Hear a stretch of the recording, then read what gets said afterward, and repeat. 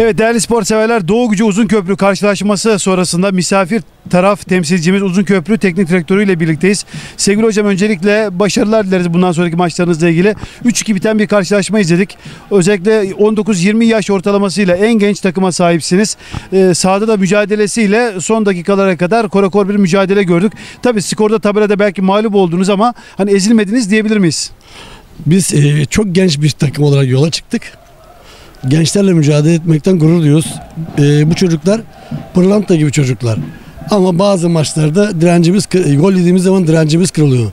Biz bunu aşsak bütün maçlarımızı rahat kazanacağız. Öyle bir takımız ki herkes e, yeri giriyor 5-10 tane pozisyon buluyoruz. Bir tanesini zor atıyoruz. Bir atsak 5 atacağız. 5 atsak 10 atacağız. O düzeyde bir takımız. Ama biz bu şanssızlığımızı kıracağız. Biz bu gençlere güveniyoruz. Gençleri çalıştırmaktan da gurur duyuyorum. Özellikle 18 yaşındaki Eray'ı da oyuna aldınız ikinci bölümde. Evet. Bir pozisyonda yakaladı. Belki düzgün vursa belki, Belki, file... maçın, maçın kırılma anı değil. 3-3'te bitirebilirdik. Son dakikada kafasını çevirmeden düzgün vursa kafayı biz buradan puanla dönüyor, dönüyor olacaktık. Ama kısmetimiz bu kadarmış. Peki spor severlere son mesajınız ne olabilir sevgili hocam? Uzun köprü doğru yolda uzun köprü gençlere hizmet ediyor. Amacımız iz bırakan bir takım bura olmak. Peki teşekkür ederiz. Başarılar bundan sonraki maçlar için.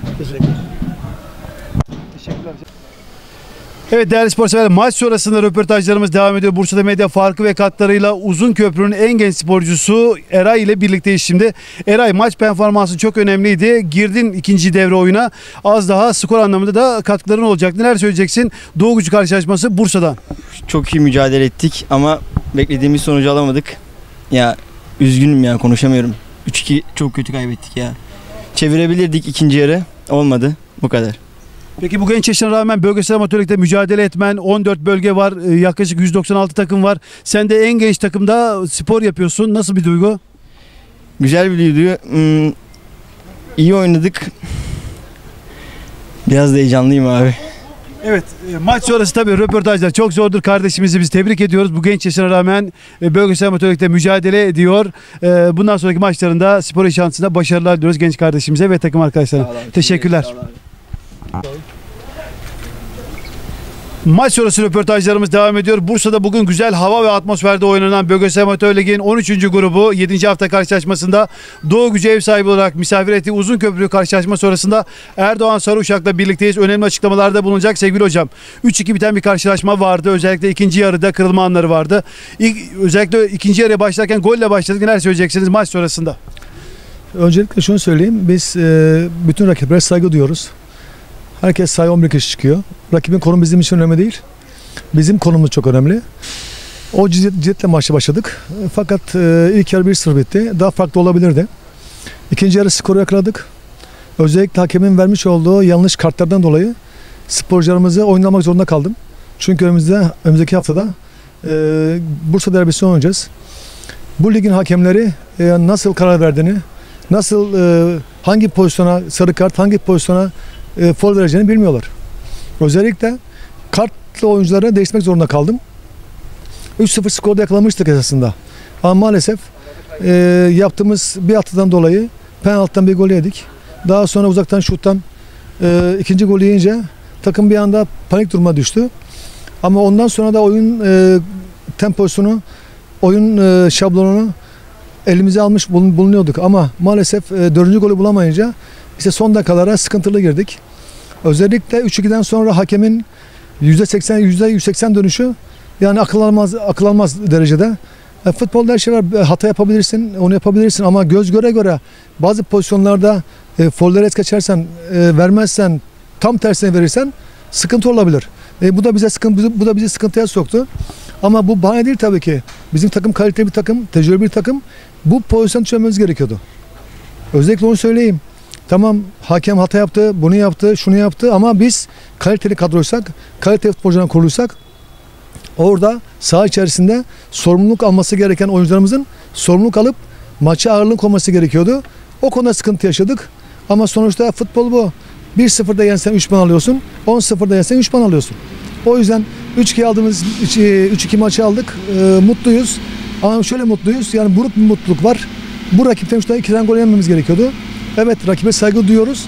Ama rakibin bize 2 tane gol atacak kalitesi, kapasitesi yoktu.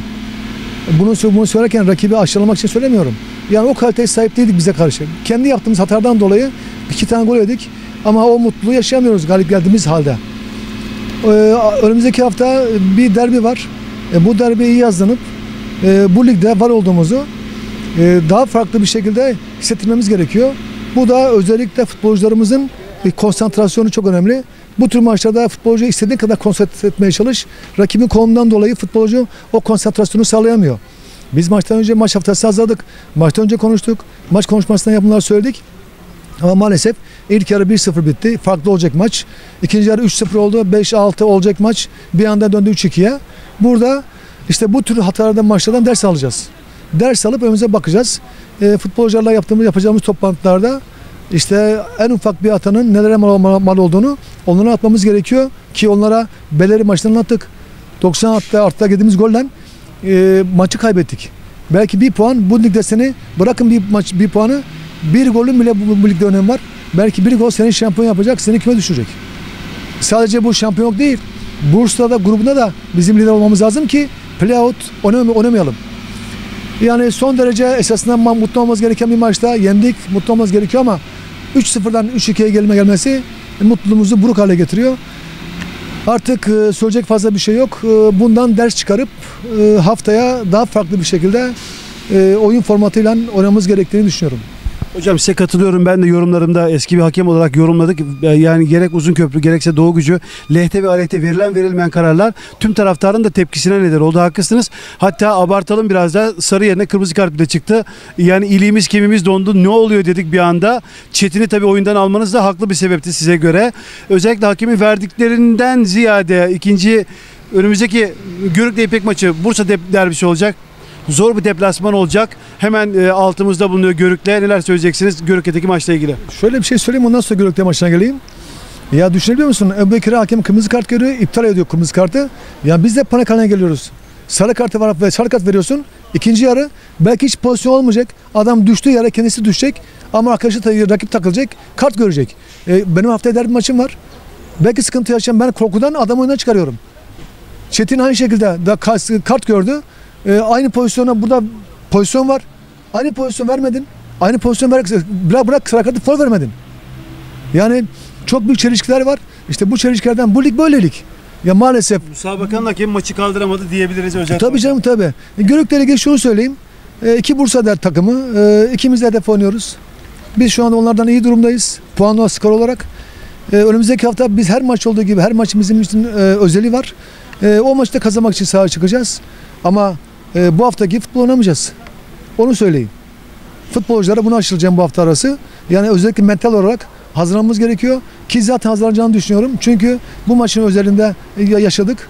Rakibi işte nasıl yeneriz, rakip konumu, pozisyonu ama en kötü rakip bile sana iki tane gol atabiliyor. O yüzden önümüzdeki maçın konsantrasyonu futbolcu kendi kendine yapacaktır diye düşünüyorum. Peki hocam teşekkür ederiz. Başarılar dileriz bundan sonraki. Kolay gelsin.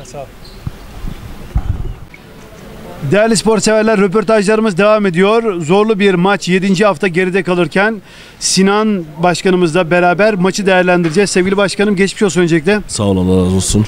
Zorlu bir maçtı. Neler söyleyeceksiniz bu maçla ilgili?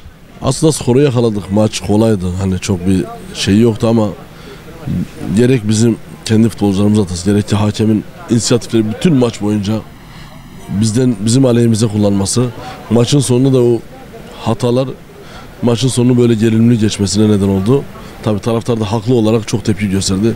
İçerideki hakemlerin işte dikkat, olması, dikkat etmesi gerekiyor. Hani herkes insan burada hata yapabilir ama üst üste de bu kadar da hata yapılmaz yani. İşte ikinci gol öncesinde faul, birinci gol öncesindeki vermediği kararlar. Yani nereden tutsan hakemin bugün rezaleti vardı bugün. Gerçekten çok çok çok çok kötü bir hakemdi. İlk yarıda zaten film ilk yarıda belli oldu. İlk yarıda Ebu Bekir'e daha ilk faulünde ilk sarı kart gösterdi ardından çıkardı kırmızı kart gösterdi. Demek ki kafayı kafayla buraya gelmemiş. Başka bir kafayla buraya gelmiş. Maçı maçta yaşayamayan bir hakem var. Yani yaşayamadı. Hakem kesinlikle bu maçı kaldıramadı. Ama sonuçta biz kazandık. Mutluyuz. Çok şükür 3 puanımızı aldık. Kayıpsız gidiyoruz. Ee, inşallah bundan sonra Görükle maçında da e, gerekli, derbisi. gerekli öz eleştiri yapıp zaten derbiye hazırlanmanın bir şeyi olmuyor. Hani derbi kendi kendine hazırlanıyorsun. E, biz gerekli bu hafta içindeki çalışmaları yapıp İnşallah derbiyi de kazanıp yolumuza devam edeceğiz. Peki sevgili başkanım Doğu Gücü spor severlerine, taraftarlarına mesajlarınız ne olabilir? Valla ne olursa olsun takımı desteklemeli, takımın arkasında durmaları. Başka yapacak da hiçbir şeyimiz yok. Biz kurduğumuz günden beri yönetici, taraftar, futbolcu kenetlenmek zorundayız. 5 dakika işte bıraktığımız anda hemen dış dış güçler, hemen dış birilerinin oyunlarına geliyoruz. Yani arkadaş orada dedi ki ya başkan 5 dakika lavabo ektim ya dedim. İşte orada film kopuyor yani. Çoğu camiada kopmuyor ama bizim aleyhimize kopuyor maalesef. Bugün işte her zaman biz takımımızı desteklemek zorundayız. Bir saniye olsun da boş bırakmamamız lazım. Her yönüyle boş bırakmamamız lazım. Bütün taraftara ben sesleniyorum kesinlikle ve kesin ne olursa olsun takımlarını desteklesinler. Arkasında olsunlar.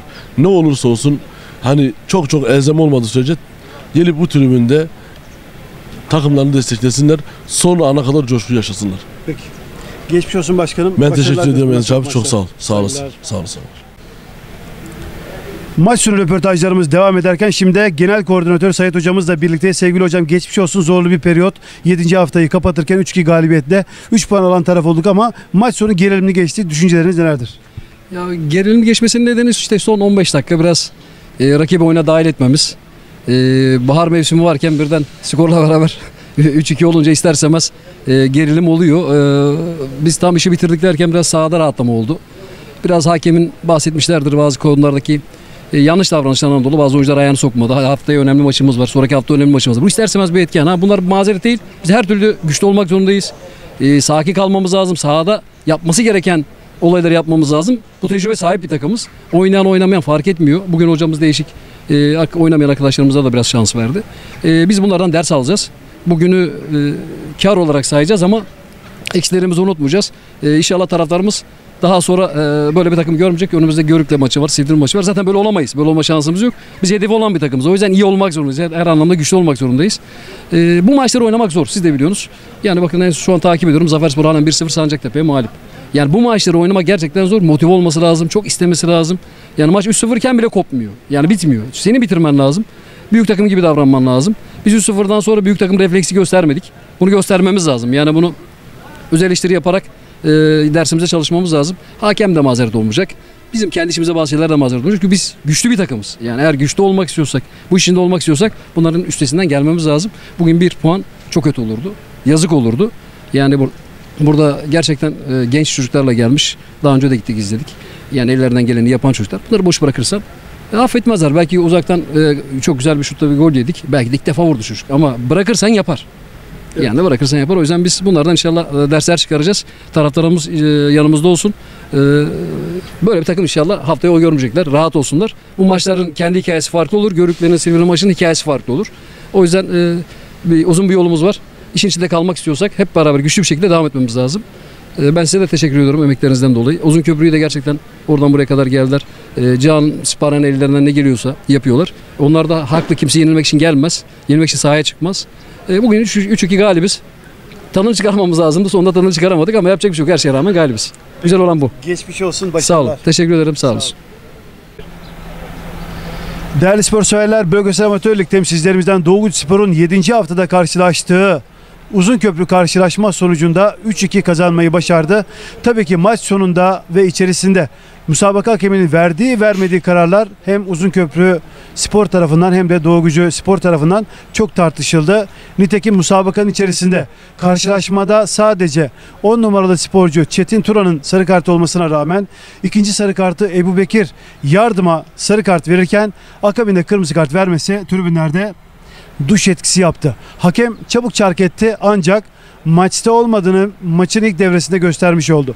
Daha sonra lehte ve aleyhte vermiş olduğu kararlarla maçın içinde olmadığını göstererek musabakayı kaldıramadığını bir kez daha söyleyebiliriz.